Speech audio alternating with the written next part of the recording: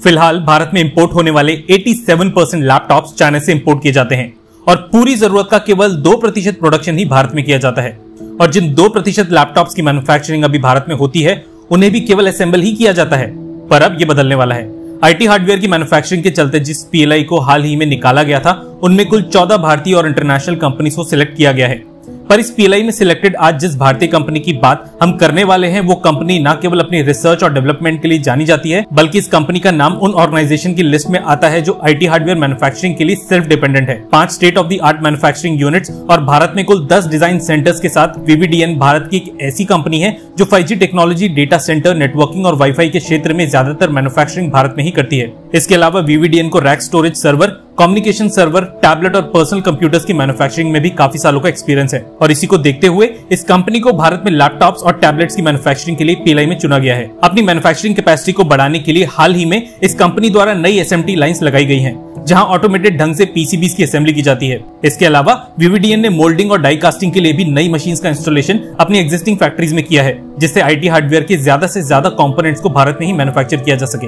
अभी क्लियर नहीं है कि वीवीडीएन कब से भारत में लैपटॉप्स की मैन्युफैक्चरिंग शुरू करेगी, और ये भी अभी कह पाना मुश्किल है कि वीवीडीएन अपने ही ब्रांड के लैपटॉप्स भारत में लॉन्च करेगी या फिर कॉन्ट्रैक्ट मैन्युफैक्चरिंग के अंतर्गत बड़े ब्रांड्स के लिए लैपटॉप्स बनाएगी इस पीएलआई की वजह से आने वाले चार सालों में 1.61 लाख करोड़ की कीमत के आईटी हार्डवेयर की मैन्युफैक्चरिंग की उम्मीद की जा रही है। और इसकी वजह से 2517 करोड़ रुपए का इन्वेस्टमेंट आने वाले टाइम में भारत में किया जाएगा। फ़िलहाल अभी जितनी भी आईटी हार्डवेयर की मैन्युफैक्चरिंग भारत में होती है, उसमें केवल 10 से 15 प्रतिशत तक का ही लोकलाइजेशन होता है। पर इस पीलाई स्कीम के अंतर्गत इस लोकलाइजेशन को 25 से 30 प्रतिशत तक बढ़ाया जाएगा और समय के साथ इस लोकलाइजेशन को 70 प्रतिशत तक भी किया जाएगा। इस पीएलआई से जुड़ी हुई सबसे खास बात यह है कि इसमें भारतीय कंपनी द्वारा ज़्यादा इंटरेस्ट दिखाया गया है। जहाँ केवल चार फॉरेन मैन्युफैक्चरर्स ने ही इस स्कीम में पार्टिसिपेट किया है, वहीं दस भारतीय कंपनीज़ इसमें शामिल हुई हैं। पर इन दसों भारतीय कंपनीज़ में से वीवीडीएन को सबसे स्ट्रॉन्ग कंटेंडर के तौर पर देखा जा रहा है, क्योंकि कोर आईटी हार्डवेयर की मैन्युफैक्चरिंग में केवल यही भारतीय कंपनी है, जिसको लैपटॉप्स और पर्सनल कंप्यूटर्स मैन्युफैक्चर और असेंबल करने का काफ़ी तजुर्बा है। इस पीएलआई में, जहाँ डेल विस्ट्रॉन और फॉक्सकॉन जैसी कंपनीज़ आगे आई हैं, वहीं एक बहुत बड़ी हार्डवेयर मैन्युफैक्चरिंग कंपनी ने अपना नाम आगे नहीं दिया है।